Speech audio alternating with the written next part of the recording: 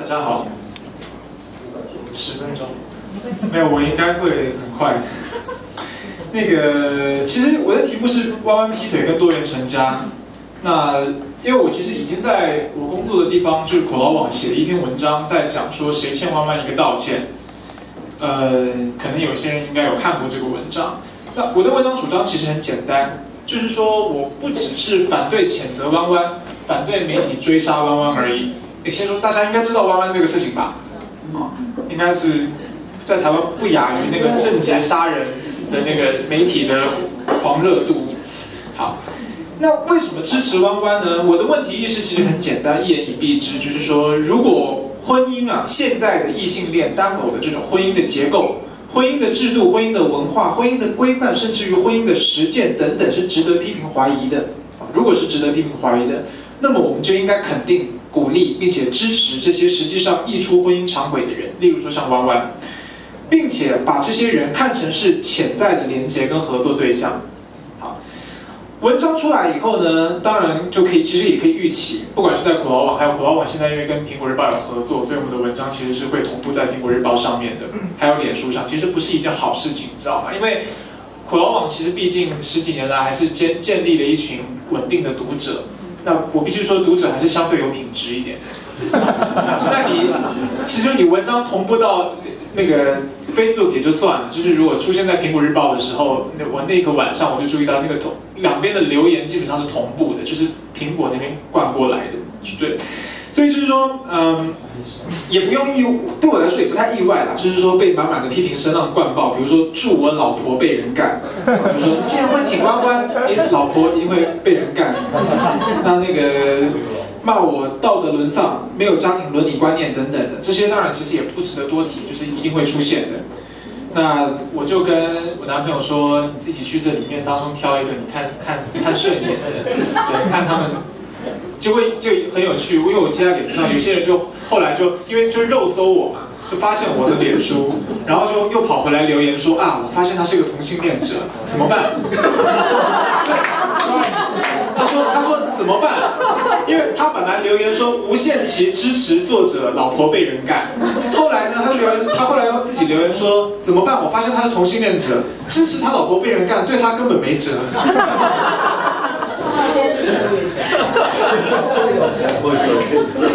所以其实很有趣，就是说这个过程就显示出一种羞辱性言论，他想用这个话来羞辱人，但是他怎么成立？怎么样可以不成立？这样，那。呃，不过这些这些这些言论会出来，其实不出我意料。以前我记得像那个洪恒珠看人妖秀的时候，然后写过类似的文章，就是挺女人可以看人妖秀。那个时候也是大概会有这些批评的意见。好，那如果没有这些批评的话，其实反而奇怪，因为如果没有这些批评的话，弯弯的行为大概也不会引起这么大的批评声浪。那对我来说呢？其实身边有些朋友其实很意外，说弯弯出轨，尤其你看郑杰才刚杀完人，弯弯出轨居然能激发出这么大的社会恐慌，而且马上就把郑杰的新闻盖掉了。但其实我没有那么意外，为什么？因为这个社会本来就把妇女的贞操跟妇德看得比人命更重要，所以说在这样社会底下，面对一个妇女不守妇道，她激起的这个社会恐慌，怎么可能会比杀人事件逊色到哪里去？这是很正常的事情。好，那我接下来就要讲说，也跟我今天要谈的东西有一点有关，就是说，其实让我比较意外的是说，在这整个事件里面啊，公共论坛中，我包含像媒体图书也好，或者说就是公共谈论、舆论节目等等的，基本上几乎很少以性别，可能我没有很全面的观察，但是就是我这个抽样就就是在媒体上阅阅听的感觉，就是几乎没有一个以性别或者说女性主义观点出发来支持弯弯的意见，几乎没有出现。它导致呢，即便是持比较开明立场的人，也就是反对谴责弯弯，也仅止于是把这个事件看成是弯弯的私事、家务事，就是不足为外人道。意思就是说，就算他犯了错，能够谴责他的只有他的先生啊，只有他的家人，或者只有去曾经祝福他的宾客，跟你们无关，这是他的私事等等。好，我为了这个事情呢，我就特别去找了两本书，就是一个是一九九三年的。一九八九年的这个离婚教主施季青写的《走过婚姻》，一个是一九九三年的《婚姻终结者》，谢谢律师。借这两本书的过程就很有趣。借这两本书的过程就很有趣哈，我觉得书架的安排哈，就反映了这个书现在在这个言论市场上面的位置。你知道，它不是摆在一般的书架，它摆在那个密集书架区，就是台北市立图书馆里面，你要去卷那个，它在那个压缩的书柜里面，要把那个卷开来，它在那里面这样子，好很难找这个书。然后呢，你会发现，就这种书，你可以知道，走过婚姻、婚姻终结的，它会被摆放在两性关系啊，这这个类目里面。所以呢，它是被一堆的书包围的。什么样子的书呢？比如说，怎么样抓住先生的心？如何维持多年婚姻？怎么样生了小孩之后，老公不会外遇，老公不会跑？如何结婚十年不当黄脸婆？幸福家庭 A B C 等等，就是我去看这个走过婚姻跟婚姻终结者，就被包围在这众多的这个两性关系跟维持亲密关系的书里面。我觉得那个图书馆的安排就反映了这类意见在今天的言论市场里多边缘。这样，我自己一九八八年出生，施季青出《走过婚姻》这个书的时候，我一岁，所以这大概不能说是什么新论述，不觉得不是，当然不算前卫的论述，但大概不是什么新论述。一九八一九八七年的书，好，一九八九年的书，当时对于外遇的谈论，主要谈的是男人外遇。施季青是晚晴协会那个时候的会长。那如果把它问题化，就是说把把那个外遇给问题化，潜台词就是我们怎么避免我们这些这些女人怎么样避免男人外遇，如何因应男人外遇？那这个当然跟他的就实际性作者，他他预期的读者是女人也有相关。他自自己作为一个离婚经验的女人，有离婚经验的女人。好，那我们看看实际性是怎么论述的。我接下来照着念几段，其实我已经引出来。其实我觉得这些就是，你知道，因为有人已经写的很好的时候，你就不需要狗尾续貂了。好，一百六十，没关系，我直接把用，我大概摘出来。好，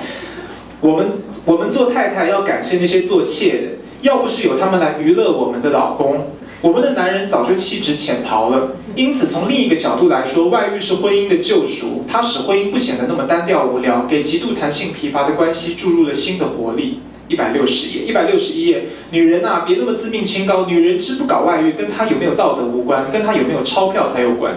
自古以来，女人因为不独立，受生育所困，没有办法养活自己，只能依附男人而生。因此，婚姻对女人而言无异于饭票，它是生存的保障。一百六十二页，现代婚姻关系中，人是一场权力的角逐。学历差、能力差、无法自立的女人，往往是最常被抛弃的。越有能力离婚的女人，婚姻越有保障。一百六十三页，到了晚晴，她那个时候是那个晚晴协会的理事长。到晚晴求助的女人甚少是女强人，大多是女弱人，在婚姻中只知道做贤妻良母，以为只要温柔娴熟就可以保住婚姻，最后仍然被弃。好，一百六十二页，外遇永远无法防止，与其耗费一生的精力在做防堵工作，不如厚植自己的实力，好好造就自己。一旦你有搞外遇的能力时，才能使对方不生二心。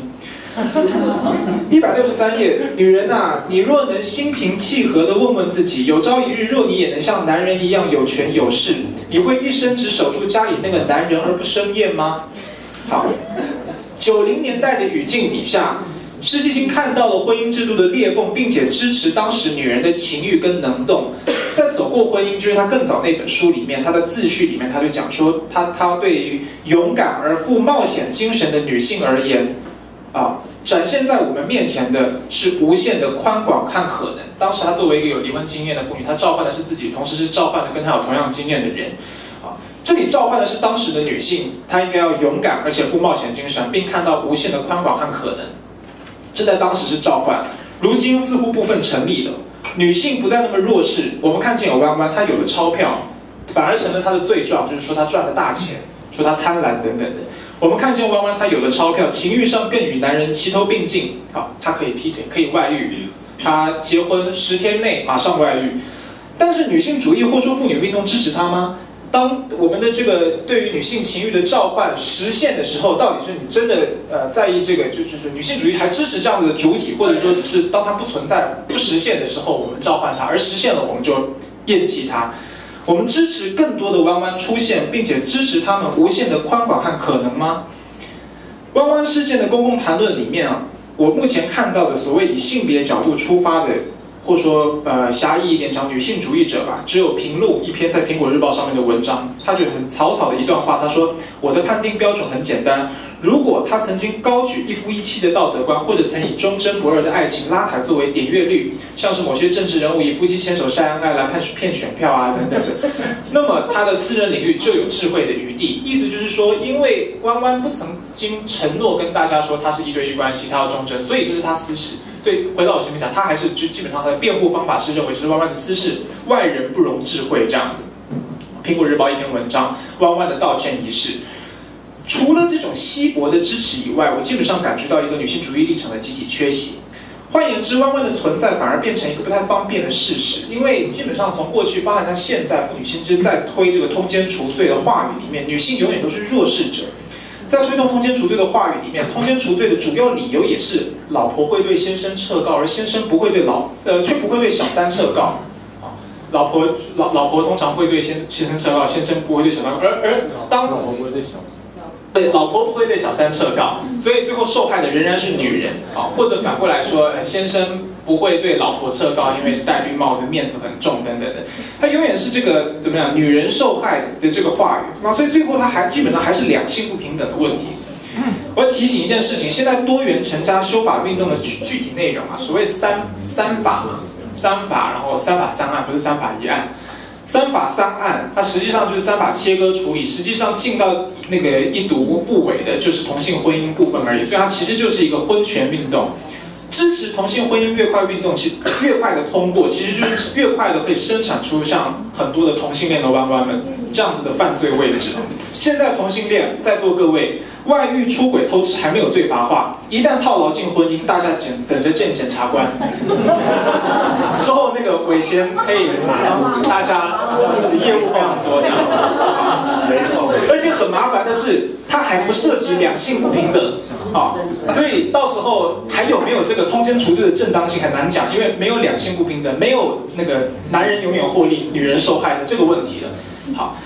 弯弯遭受围剿，显示的是社会上对于单偶婚姻制度的巩固。有一些人基本上就是试着想要为这个东西辩护，说社会大众追杀弯弯，并不是因为啊支持单偶异性恋制，而是因为台湾社会对于诚信特别的在意。意思就是说，你可以。呃，你可以搞多批杂交，你可以，你可以多元成家，你可以多元伴侣，没有关系。但是呢，你就不要去戴那个婚戒，你不要做那个承诺，因为承诺是非常重要的。所以大众并不是在意单偶的终身，而是基于签订某个协议或做出某个承诺后就必须信守这样的信念。两岸服贸已经签订了，惨。好，假使这个解释是真的的话，哈。那么今天这个无论这个协议是不是涉及单偶制的婚姻家庭观念，大众应该要毫无差别的对于不同的诚信问题做出同等反应。例如说，呃，某一某 A 跟某 B 婚前承诺，好，他结呃结婚后要跟家人同居，婚后反悔，我们两个要独居就好了。好，这样子的违反协议，或者是说某 A 承诺跟某 B 缔结伴侣关系后要负担打扫工作，实际上缔结伴侣工作。伴侣关系之后从来没有履行，好，